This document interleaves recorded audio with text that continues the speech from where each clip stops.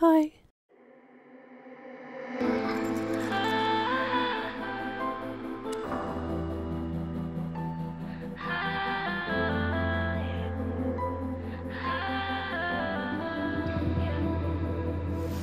Constantly changing my mind.